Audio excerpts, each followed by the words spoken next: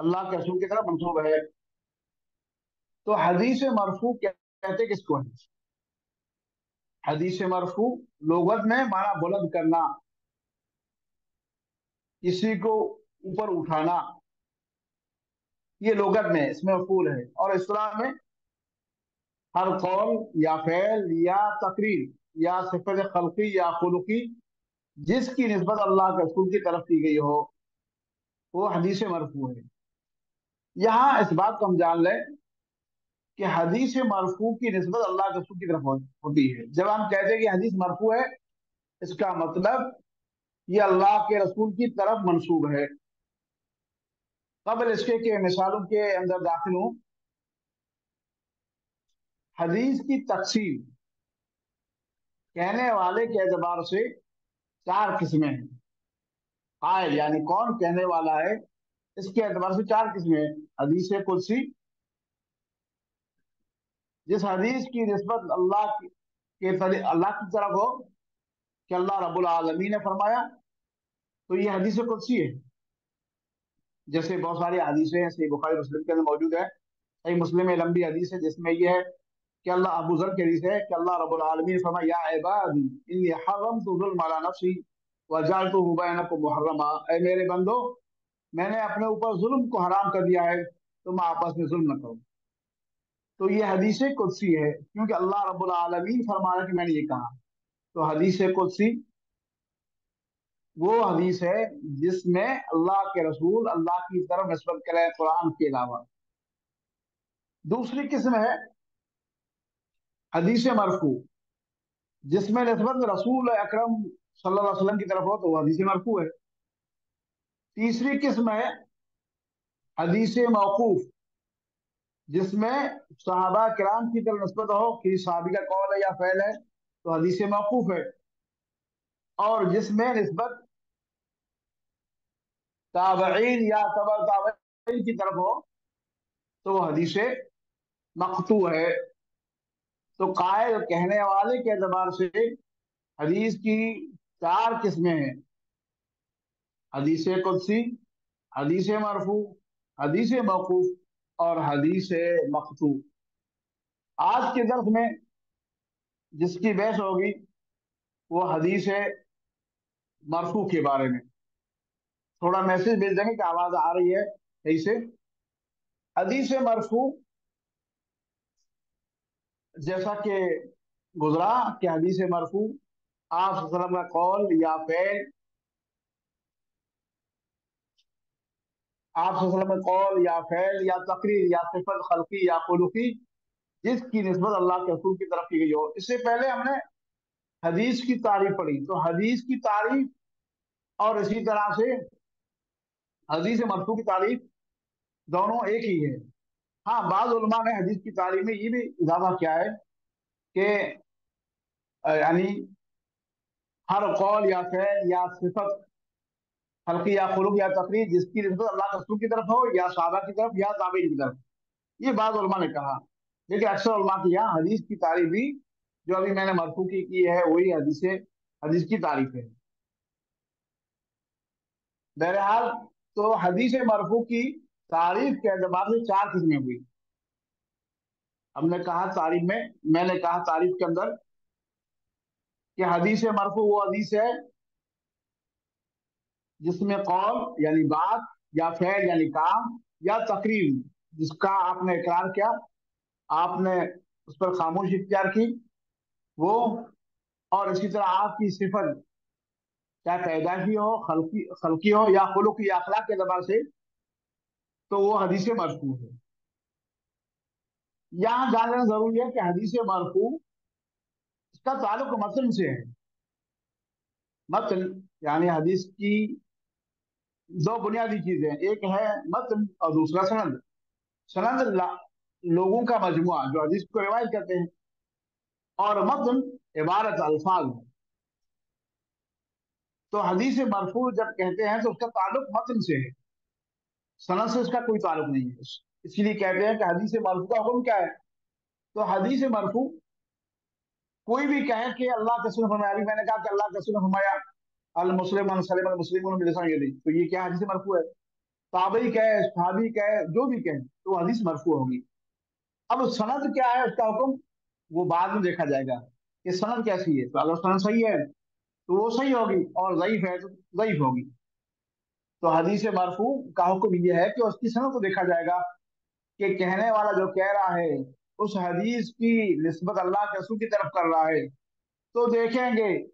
اس مرفوع کی سند کیسی ہے؟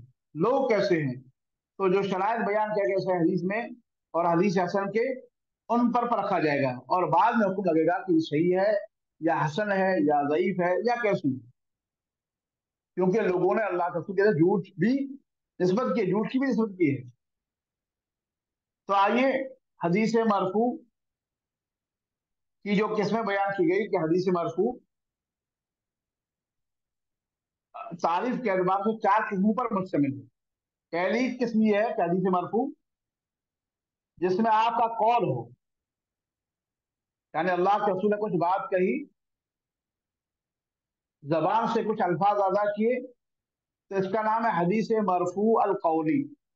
وہ حدیث جس میں آپ کا قول ذکر ہے۔ اور اکثر احادیث اللہ کے رسول کی، حدیث قولی ہے، مرفوع قولی ہے۔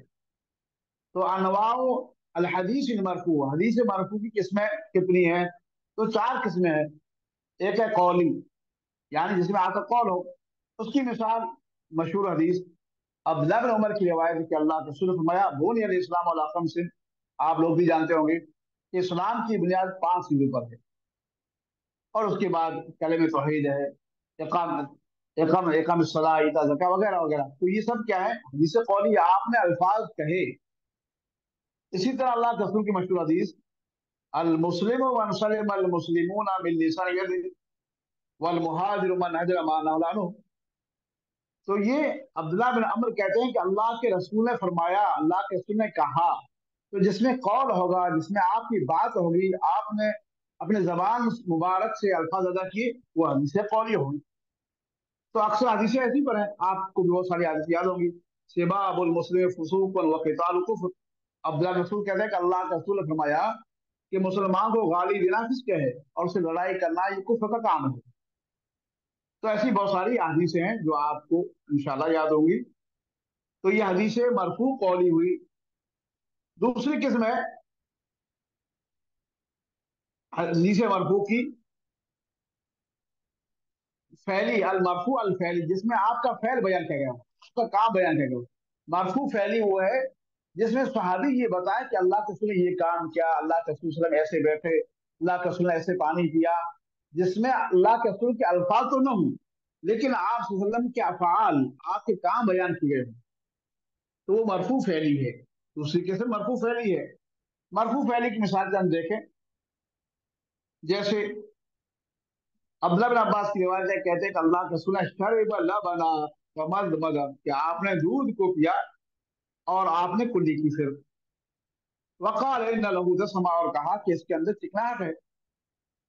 یعنی خاص طور جب ہم نماز کے لیے جائیں اور ہم دودھ کیا ہے، تو کلی کر لیں تاکہ چکناہٹ دور ہو جائے۔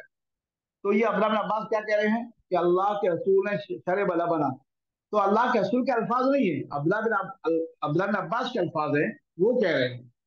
لیکن آپ وسلم کا فعل بتا رہے ہیں، دودھ پینے کا، کہ آپ نے دودھ پیا، یہ فعل ہے۔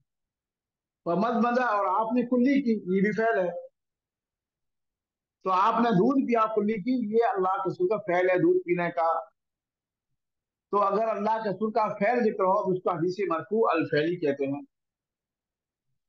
اسی طرح عبداللہ بن عباس کی روایت ہے، انہوں نے کہا کہ ان رسول اللہ صلی اللہ علیہ وسلم اکل کسف شاطل۔ کہ آپ نے بکری کا کندھا کھایا۔ یعنی ذبح کے بعد اللہ کے سامنے بکری کا بازو کندھا پیش کیا گیا، تو آپ نے تو کھایا۔ تو مسلح اور پھر آپ نے نماز پڑھی والی توجہ، اور آپ نے وضو نہیں کیا۔ یہ عبداللہ بن عباس اللہ کے رسول کی کھانے کی کیفی بیان کر رہے ہیں۔ تو اس میں اللہ کے رسول کے کچھ بھی الفاظ نہیں ہیں۔ ابن عباس بیان کر رہے ہیں۔ کبھی ایسا بھی ہوتا ہے کہ اللہ کے رسول کا فعل بھی ہے اور پھر قول بھی ہے، جیسے اوپر والے حدیث ہے کہ آپ نے دودھ دیا، کلی کی، یہ فعل ہے۔ وقال ان لو دسما اور کہا کہ اس طرح سے چکنا رہی اللہ کے نے کہا۔ تو ان لو دسما یہ مرفوع قولی ہے، لیکن اس سے پہلے مرفوع پہلی ہے۔ اسی طرح سے حضیفہ کی روایت حدیث صحیح بخاری کی کہ اللہ کے سور، اتا نبی صلی اللہ علیہ وسلم قوم۔ کسی کوڑے دان کے پاس آئے۔ فبال قائمہ اور آپ نے وہاں پر کھڑے ہو کر پیشاب کیا۔ سم دعا بمائن اور پھر آپ نے پانی کو منگایا۔ فضیت بما فتوزہ تو میں پانی لے کر آیا حضیفہ کہتے ہیں، اور آپ نے وضو کیا۔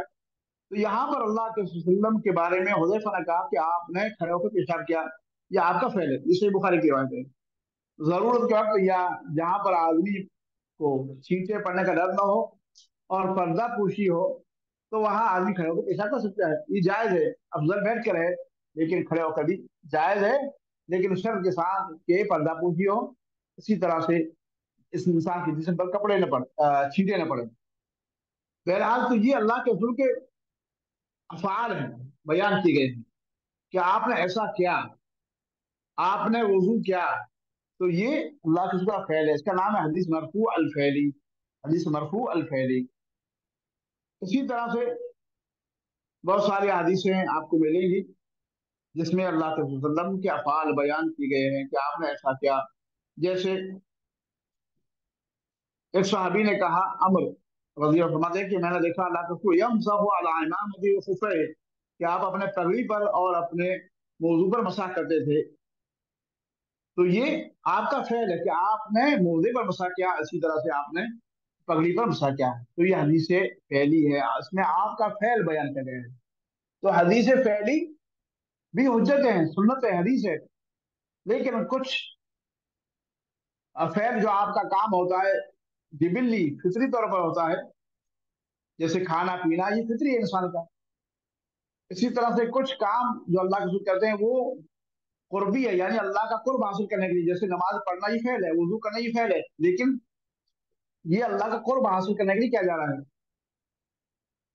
تو یہ تو حجت ہے کہ اس میں کوئی شک نہیں ہے۔ جس میں اللہ نے کہا یہ کرو اور آپ نے کیا وہ کام۔ لیکن جو آپ فطری طور پر کرتے ہیں، اس میں بھی حجت پائی جاتی ہے۔ کہ اللہ کے نے پانی کیسے دیا، کھڑے ہو کر یا بیٹھ کر یا اس طرح کے جو امور ہیں، تو وہاں پر بھی سنت کی چیزیں آ جاتی ہیں۔ کبھی کبھار علماء کہتے ہیں یہ دوسری چیزیں اس میں یعنی کچھ ایسے مسائل ہیں، لیکن اکثر بھی یہ ہے کہ وہ آپ وسلم نے جو کیا ہے، وہ سنت کے طور پر کیا ہے، مثال کے طور پر کہ آپ دائنا دائنا دایاں طرح پسند کرتے ہیں یوشب التیمن فی سہوری بس رجول ہی وفی شان کو کہ اللہ کے صفائی کرتے وقت وضو کرتے وقت، اسی طرح سے کنگھی کرتے وقت دایا پسند کرتے تھے۔ تو یہاں اگرچہ فطر چیز ہے، لیکن پھر بھی دایاں چیز میں اتفاق ہے سنت میں داخل ہے۔ بہرحال یہ فقی مسئلہ الگ ہے۔ تو یہ حدیث فعلی ہے۔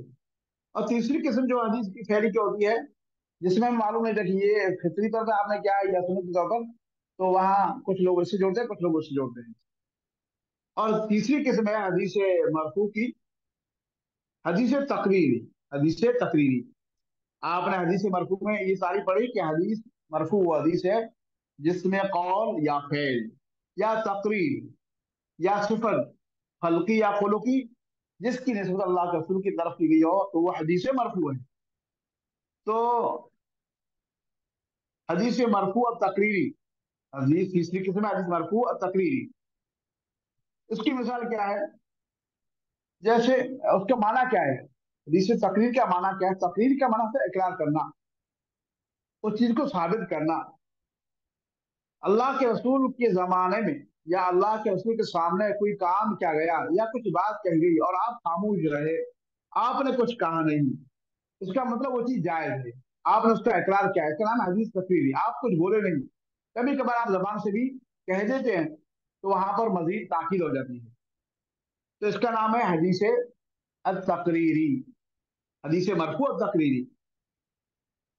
مثال کے طور پر ابو سعید خدری کہتے ہیں کہ ہم اللہ کے رسول کے زمانے میں کنہ نخرجو زکات ہم اللہ کے رسول کے زمانے میں زکات فطر ایک سا کھانے میں سے نکالتے تھے۔ تو یہ اللہ کے رسول کے زمانے کی نسبت کر رہے کہ ہم اللہ کے رسول زمانے میں ایسا کرتے تھے۔ اور حدیث قولی بھی ہے کہ آپ نے حکم دیا ایک سال نکالنے کا۔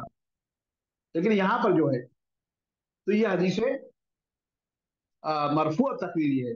اسی طرح سے عبداللہ عمر کہتے ہیں کہ وہ نوجوان تھے آزر غیر شادی شدہ تھے یعنی ابھی شادی نہیں ہوئی تھی، اور مسجد میں سوتے تھے، کان یا نام ہو وہ شاہ بن آزر لا لہو فی المسجد کہ وہ مسجد میں سوتے تھے ایسے معلوم ہوا کہ مرد کا مسجد میں سونا جائز ہے۔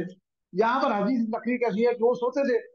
اور ظاہر سی بات ہے کہ مسجد میں سونا، جس مسجد میں اللہ کے نماز پڑھتے ہیں اور پڑھاتے ہیں، لوگ پڑھتے ہیں سارا کرام اور آپ پڑھاتے ہیں، تو آپ کا، آپ کو اس کا علم ہوگا۔ تو یہ، اس کا یہ مطلب ہوا کہ مسجد سونا جائز ہے۔ اگر سے قول حدیث ہمیں اس میں نہیں ہے کہ آپ سوئیں مسجد میں، لیکن یہاں یہ عمل صحابہ کرام کا مسجد میں سونا اس بات کی دلیل ہے کہ یہ حجت ہے کیونکہ آپ ظلم کے زمانے میں ہوا اور آپ اس کو جانتے تھے اور آپ نے منع نہیں کیا۔ بہرحال اس کے ضوابط ہے وہ ایک الگ چیز ہے۔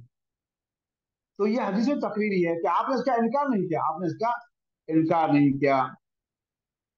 تو یہ حدیث مرفوع اب تقریری ہوئی۔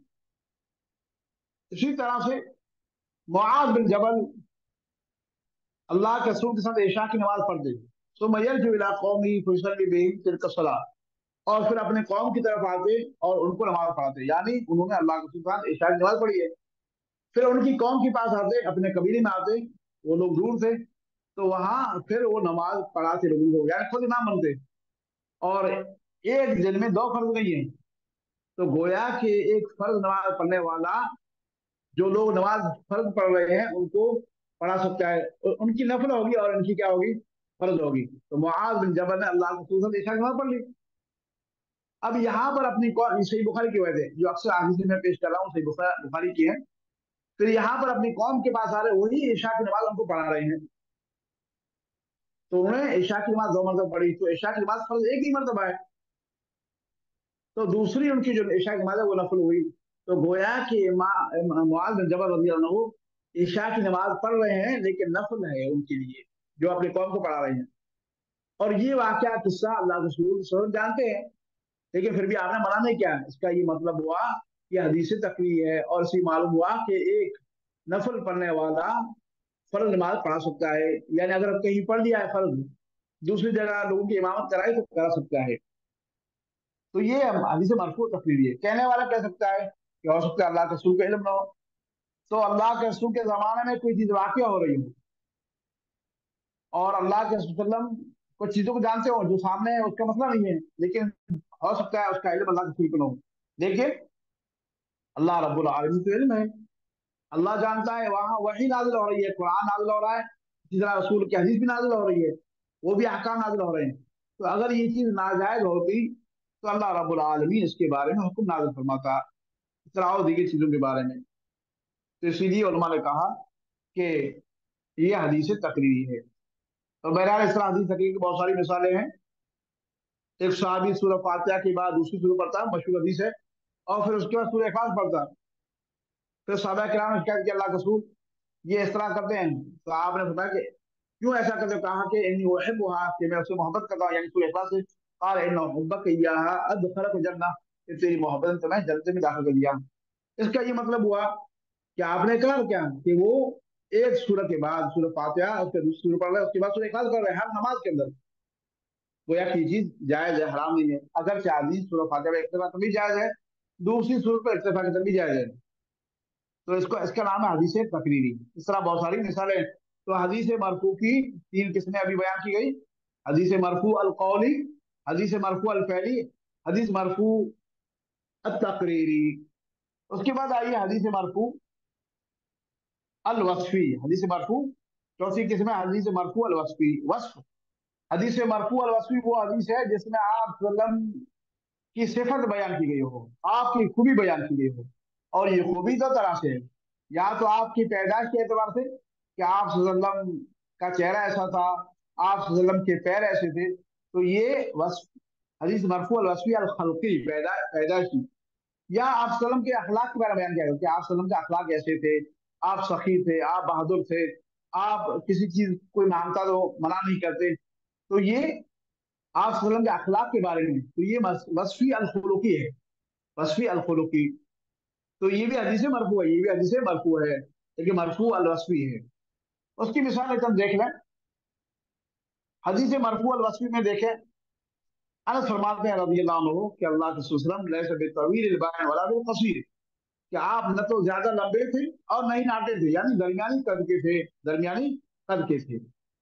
تو یہ انس رضی اللہ عنہ آپ وسلم کا ہیکل اور آپ وسلم کتنے بڑے تھے؟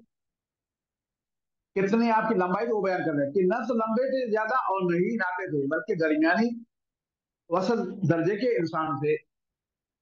تو یہ آپ وسلم کی پیدائشی وصف بیان کیا جا رہا ہے۔ اسی طرح برا بن عازم کہتے ہیں کہ اللہ رسول کا کان رسول اللہ علیہ وسلم احسن الناس وجہا۔ کہ آپ وسلم لوگوں میں سب سے زیادہ خوبصورت چہرے والے تھے، اچھے اور حسین چہرے والے تھے۔ تو یہ برا بن عازم کا بیان کرنا کہ آپ کا چہرہ بہت ہی اچھا تھا، یہ کیا ہے؟ وصف، حدیث مرفوع الوصفی الخلقی ہے۔ آپ کی پیدائش کہ ڈانس پیدا سے ڈھانچہ کیسا تھا اس کو بیان کر رہے ہیں کہ آپ صلی اللہ علیہ السلام والسلام لوگوں میں سب سے چہرے کے اعتبار سے بہتر تھے۔ اسی طرح سے بلا بن عازم سے پوچھا گیا کہ کیا اللہ رسول کا چہرہ تلوار کی طرح تھا؟ یعنی چمکتا ہوا کالا بل مثل القمر، بلکہ چاند کی طرح۔ تلوار تھوڑا الگ ہوتی اور تشبیہ بلی چاند سے دی جاتی ہے۔ تو کہا کہ نہیں، بلکہ آپ بلند چاند، آپ کا چہرہ چاند کی طرح تھا۔ اسی طرح سے ابو جوحیفہ رضی اللہ عنہ فرماتے ہیں، ایک قصہ انہوں نے بیان کیا، اس میں یہ کہا کہ میں نے یعنی صحابہ کرام نے نماز کے بعد اللہ کے رسول صلی اللہ علیہ وسلم کے ہاتھ کو لیا اور اپنے چہروں پر مرنے لگے۔ اپنے چہروں پر مرنے لگے۔ آپ وسلم سے برکت لینا چاہیے آپ کے ہاتھ سے، آپ کی تھوک سے لیکن کسی اور سے اس طرح کی جائز نہیں ہے۔ تو آپ وسلم کا ہاتھ لے کر کے سارے اکرام اپنے چہروں کو منع لگے۔ تو ابو جوہرفہ کہتے ہیں فاخذ تو ہی یہ صحیح بخاری کی وجہ ہے۔ فوضا تو حال وجہی تو میں نے اپنے چہرے پر آپ وسلم کا ہاتھ رکھا۔ کتنے مبارک تھے وہ صحابی۔ رضوان اللہ علیہ مجمعین کہ اللہ کا سور کے ہاتھوں سے برکت لے رہے ہیں۔ پیدا ہی ابرد من السلج تو کہتے ہیں کہ آپ وسلم کا ہاں سے مبارک برف سے بھی زیادہ ٹھنڈا تھا۔ وَأَطْيَبُ رَائِحَةً مِّن مِسْك اور ہاتھ کی خوشبو مسک سے بھی زیادہ بہتر اور عمدہ تھی۔ انس کہتے ہیں رضی اللہ عنہ، ما مسست حریرا ولا دیباج الین من کفل مسلمہ میں نے کوئی ریشم موٹا ہو یا پتلا کسی کو چھویا چھوا نہیں، جو زیادہ نرم اللہ کے رسول کی حفیری سے۔ یعنی ریشم نرم ہوتا ہے، بہت عمدہ ہوتا ہے۔ لیکن کہتے ہیں کہ اللہ کے سون کا ہاتھ سیری اس سے کہیں زیادہ نرم تھی۔ وَلَا شَمِمْتُ رِيحًا قَدْ اَوْ عَرْفًا قَدْ اطيب من ريح او عرف نبی صلی اور کہتے ہیں کہ میں نے کوئی خوشبو سنگی نہیں، کوئی بھی قسم کی خوشبو جو اللہ کے رسول کی خوشبو زیادہ عمدہ ہو۔ سبحان اللہ۔ تو یہ اللہ کے رسول صلی اللہ علیہ وسلم کاوس بیان کیا جا رہا ہے ہلکی اور پیدائش کے اعتبار سے۔ تو اگر آپ کی خوبی بیان کی گئی ہو، پیدائش کے اعتبار سے تو اس حدیث کا نام ہے حدیث مرفوع الوصفی الخلقی۔ اسی طرح سے اگر آپ کا اخلاق بیان کیا گیا ہو، کہ آپ کے یہ اخلاق تھے تو اس کا بھی نام ہے حدیث مرفوع الوصفی الخلقی۔ خلق منع پیدائش اور خلق منع اخلاق۔ وَإِنَّكْ لَعَلَىٰ خُلُقِ نَظِيمِ اے رسول، آپ اعلیٰ درج اخلاق پر ہیں۔ تو یقیناً آپ عمدہ اخلاق کے پیکر تھے تو جیسے عبداللہ بن عباس کی روایت ہے، کان نسما اجود اللہ الناس۔ اللہ کے رسول لوگوں میں سب سے زیادہ سخی تھے۔ سب سے زیادہ سخی تھے۔ یہ اخلاق ہے کہ آپ سخاوت میں، چاہے وہ مالی سخاوت ہو یا زبانی سخاوت انسان کیسے کرتا ہے؟ مال کے ذریعے کرتا ہے۔ اپنے جسم کی محنت دے کر کرتا ہے۔ یا اپنی زبان سے لوگوں کو اچھی باتیں بتاتا ہے۔ یہ سب سخاوت میں آتا ہے۔ سخاوت صرف پیسوں کو خرچ کرنا نہیں نہیں ہے، بلکہ سخاوت اگر آدمی لوگوں کو علم بتا رہا ہے، لوگوں کو اچھے اخلاق بتا رہا ہے، تو یہ بھی سخاوت ہے، بلکہ یہ اعلیٰ درجے کی ہے لوگوں کو سچا خیال دینا، پیسہ دینا، مدد کرنا، یہ بھی یہ بھی سخاوت ہے۔ تو سخاوت اسی طرح اپنے جسم سے کسی کو ساتھ دینا، کسی کو کام کر کے دینا، کسی کا بوجھ اٹھا کے دینا، یہ بھی سخاوت ہے۔ تو اللہ کا رسول کا نبی صلی اللہ علیہ وسلم سے لوگوں میں سب سے زیادہ سخی۔ اسی طرح سے عبداللہ بن عمر فرماتا ہے کہ اللہ کا رسول لم یکن نبی صلی اللہ علیہ وسلم فاحشا۔ ولا متفاحشا کہ آپ صلی اللہ علیہ وسلم بدگو نہیں تھے ولا متفاحشا اور نہیں آپ کی بدخلقی تھی۔ یعنی اللہ رسول ہمیشہ اعلیٰ اخلاق کے تھے، نہ کبھی آپ زبان سے بری بات کہتے اور نہیں آپ کی عادت کی بری بات کہنا۔ تو یہ آپ کا اخلاق تھا کہ آپ ہمیشہ عمدہ بات کہتے تھے بلی بات کہتے تھے، کبھی بھی برے الفاظ آپ کی زبان سے سنے نہیں گئے۔ اسی طرح سے ابو وغیرہ فرماتے ہیں کہ اللہ کے ماں آب عام کرتے کہ اللہ کے سنہ کبھی کھانے کا عیب نہیں نکالا۔ انہیں اشتہا ہوا کلا وہی رکھ اگر آپ کا دل چاہا تو کھا لیا، ورنہ چھوڑ دیا۔ یہ اللہ کے کا عمدہ اخلاق، پیارا اخلاق کہ آپ نے کھانے میں عیب نہیں نکالا۔ دل چاہ تو کھا لیا اور نہ چھوڑ دیا۔ اگر اس حدیث پر ہم لوگ مسلمان عمل کر لیں تو گھر کے بہت سارے معاملات حل ہو جائیں گے۔ کبھی کھانے میں نمک نہیں ہے، کبھی روٹی پکی ہوئی نہیں ہے، اس میں کچھ لگا ہوا ہے، کبھی چاول جلا ہوا ہے۔ تو اچانک آدمی غصے ہو جائے، یا عیب نکالنا شروع کر دے۔ تو اس سے معاملات بڑھتے ہیں۔ لیکن اللہ کے وسلم کے اخلاق کیسے تھے۔ تو اگر ہم اللہ کے رسول سے محبت کر رہے ہیں تو اس حدیث کو اپنائیں۔ دل لگے کھا لیا ورنہ چھوڑ دیا۔ اس کا دل نہ دکھائے۔ ہاں اگر اسلام مقصود ہے اور بار بار اس چیز کے اندر گڑبڑی پیدا ہو رہی ہے تو ہم بعد میں اس کو سمجھائیں گے، اس طرح اس طرح چیز ہو رہی ہے کہ اصلاح کرنا، عمدہ طریقے سے۔ لیکن کھانے کے اندر ایڈ کرنا کچھ لوگوں کی عادت ہوتی ہے، اللہ بچائے۔ اچھا بھی تب بھی یعنی کہیں نہ کہیں سے وہ نقطہ چینی کریں گے۔ اس میں نمک تھوڑا کم ہے، اس میں یہ اچھا کھانا ہے، سب لوگوں کو اچھا لگ رہا ہے، لیکن اللہ بعض لوگوں کی عادت ہو رہی ہے۔ تو بہت بری عادت ہے۔ لیکن اللہ کے وسلم اعلیٰ اخلاق کے تھے۔ کہیں پر بھی کسی کھانے کو اگر آپ سب کے سامنے پیش کیا جاتا تو آپ اس کو قبول کر لیتے اور کبھی اس میں عیب نہیں نکالتے۔ اسی طرح سے اللہ کے وسلم کا اعلیٰ اور اونچا اخلاق۔ جابر کہتے ہیں ماں سوئل علیہ وسلم شیخ خط اللہ کہ آپ وسلم کسی چیز کے بارے میں سوال نہیں کیے گئے؟ تو آپ نے لا کہا ہو۔ یعنی کبھی کسی نے آپ سے کوئی چیز مانگی تو آپ نے منع نہیں کیا۔ یہ نہیں کہ میرے پاس نہیں ہے۔ اگر آپ کے پاس وہ چیز موجود ہوتی تو آپ دے دیتے۔ تھے اور کہتے، لے لو۔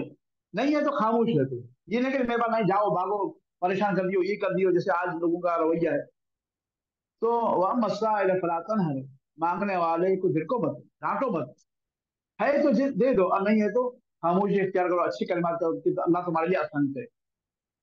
تو یہ آپ وسلم کا اعلیٰ اونچا اخلاق تھا۔ ایک صحابی نے آپ سے کپڑا مانگا اور آپ کو وہ کپڑا ملا، چادر ملی۔ آپ صرف اس کی ضرورت مند تھے، صحیح بخاری کی وجہ سے محتاج تھے۔ اس صحابی نے مانگ لیا تو صحابہ کرام کو بھی اچھا نہیں تھا، کیوں انہوں نے مانگا؟ اور اللہ صلی صاحب وہ محتاج لے رہے ہیں آپ نے اس کو پہنا، آپ اس کی ضرورت ضرورت محسوس کر رہے تھے یعنی آپ کو ضرورت تھی۔ لیکن پھر بھی جب اس صحابی نے مانگا تو اللہ کا ان کو دے دیا۔ صحابہ کرام نے صحابی کہا کہ جب معلوم ہے کہ اللہ رسول کسی چیز کی منع نہیں کرتے، جو بھی مانگو دے دیں گے۔ آج یہ اخلاق کس کے پاس ہے؟ یہ اخلاق کس کے پاس ہے؟ دعویٰ تو ہم بڑے بڑے کرتے ہیں کہ ہم یہ ہے وہ ہے لیکن یہ اخلاق جس سے انسان کی زندگی سمجھتی ہے، انسان اونچے مرتبے پہنچ جاتا ہے، یہ اخلاق بہت ہی کم لوگوں کے پاس ہوں گے۔ تو آپ نے ان کو دے دیا۔ تو صحابی نے کہا کہ میں نے اسی لیے مانگا کہ اللہ کے رسول علیہ وسلم کے جسم پر یہ چادر لگ چکی ہے، برکت اس میں حاصل ہوئی ہے۔ تو میں چاہتا ہوں کہ یہ چادر میرے لیے کفن بنے۔ تو صحابہ کرام بھی اسے مانگنے والے نہیں تھے۔ لیکن وہ اعلیٰ اور اونچا مقصد دیکھتے تھے کہ کس لیے مانگ رہے ہیں۔ جو مقصد تھا وہ بہت عظیم تھا۔ تو ایسی صورت میں اس صحابی کی تعریف کی جائے گی کس طرح سے انہوں نے اپنے کفن کے لیے اس طرح کی چادر کی تیاری کی۔ یعنی آخرت کا ہمیشہ ان کو خوف ڈر رہتا تھا۔ اسی کی تیاری میں۔ بہرحال یہاں جو مقصود تھا کہ حدیث مرفوع کیا ہے۔ حدیث مرفوع کے بارے میں ہم بیکون بیکون یا معلوم سمائے وما اضیف للنبی مرفوع کہ حدیث جس کی نسبت اللہ کے رسول کی طرف کی گئی ہے تو وہ مرفوع ہے۔ وہ حدیث مرفوع ہے۔ چاہے وہ قول ہو، چاہے فعل ہو، چاہے تقریر ہو، چاہے صفت ہو ہلکی ہو یا خلقی یا آپ کہیں حدیث مرفوع ہے، جس میں قول یا فعل یا صفت یا وصف کی نسبت اللہ کے رسول کی طرف کی گئی ہو، تو وہ حدیث مرفوع ہے۔ اور یہ حدیث مرفوع ان چار قسموں میں سے جن جن کے بارے میں علماء نے کہا کہ قائد کے اعتبار سے حدیث کی چار قسمیں ہیں۔ حدیث قدسی، حدیث مرفوع، حدیث موقوف اور حدیث مقفوف یہ کہنے والے کے اعتبار سے تو آج جو بیان ہوا حدیث مرفوع کا۔ تو حدیث مرفوع کی تعریف کیا ہے لوگت میں؟ اور اصطلاح میں، اور حدیث مرفوع کی کتنی قسمیں ہیں؟ قولی ہے، فعلی ہے، تقریری ہے اور وصفی ہے۔ وصفی میں دو چیزیں خلقی اور خلقی۔ تو یہ خلاصہ کلام ہے حدیث مرفوع کا، اور حدیث مرفوع کی مثال جیسے کہ بہت ساری مثالیں گزری۔ ان نمل اعمال و بنیاد عمر بن خطاب نے فرمایا کہ اللہ کے سن فرمایا کہ ان نمل اعمال بنیاد عمل کو دار مدار نیت پر ہے۔ تو یہ آپ کا قول ہے، یہ حدیث مرفوع ہے۔ تو شاید ٹائم بھی ہو رہا ہے اور آواز کے بارے میں کچھ بھیج دیں گے اسی طرح سے کوئی سوال ہو تو ضرور آپ لکھ کر بھیجیں۔ اگر کوئی بیان ہے تو لکھ کے بھیجیں اور بھائی تو آواز کے سکتے ہیں احسن اللہ۔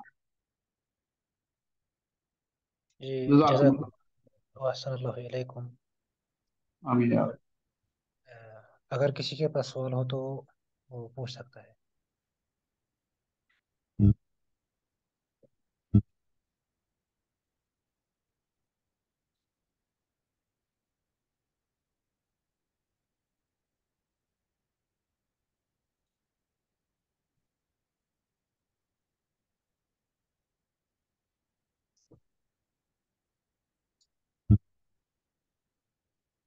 لکھ کے بھیج دیں اگر زوال نہ ہو